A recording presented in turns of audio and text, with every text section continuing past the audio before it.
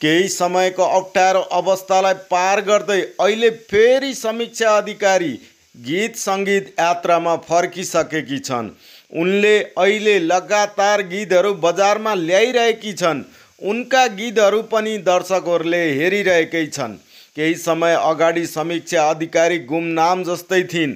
उनका कुनै गीत कार्यक्रम केही पनि भएका थिएनन्। तर आजकल समीक्षा अधिकारी निकै व्यस्त भएकी छन्।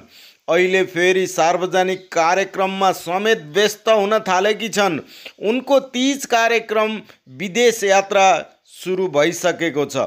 उनको हिजो मात्रै आफ्नो फेसबुकमा यात्रा इन्डिया गुजरातसम्मको भन्दै आफ्नो तिज कार्यक्रमको जानकारी गराएकी थिए उनको कार्यक्रमहरू पच्चिस अगस्त जामनगर छब्बिस अगस्त राजकोट सत्ताइस अगस्त अहमदाबाद उन्तिस अगस्त सुरत तिस अगस्त बडोदरा।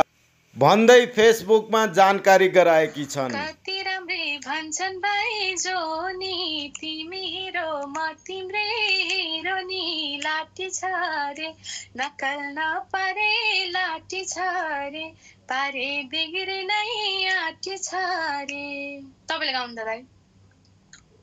ल फेरि मलाई गाउँ म भोलि कसम सिकेर आउँछु अनि गाउँछु है।